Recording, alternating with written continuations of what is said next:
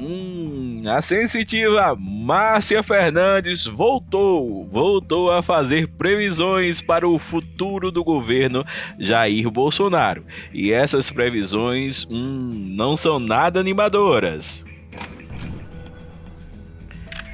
Fala galera, a sensitiva Márcia Fernandes voltou a falar sobre o futuro do presidente Jair Bolsonaro como chefe dessa nação. Bom, segundo ela, em entrevista ao F5 da Folha, podemos esperar que o ano realmente começou. Muitos esquemas e maracutaias vêm à tona. Mas como assim, Márcia Fernandes? Ela diz que a insatisfação do público, do povo brasileiro, novos escândalos, estabilidade econômicas e, claro, coronavírus vão fazer com que a situação em Brasília seja cada vez mais, digamos que perturbadora.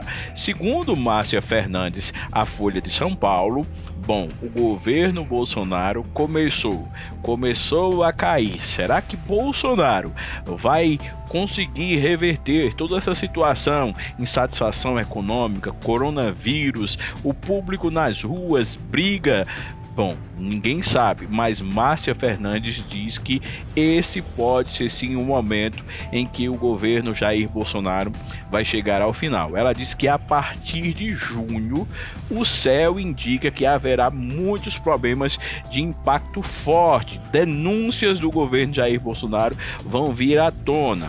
Segundo ela, já em novembro de 2019, havia sinais visíveis de insatisfação e perda do apoio da população. Poderemos esperar por um ano em que muitas situações, esquemas e maracutaias venham à tona e gerem bastante questionamento e a necessidade de execução da justiça. Bom, e agora?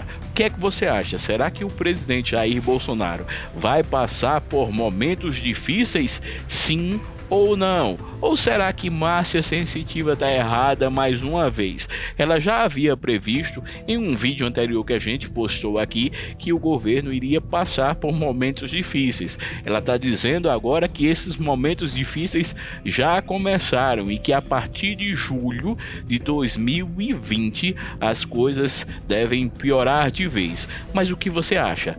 Curte, comenta, compartilha, fala o que você quiser.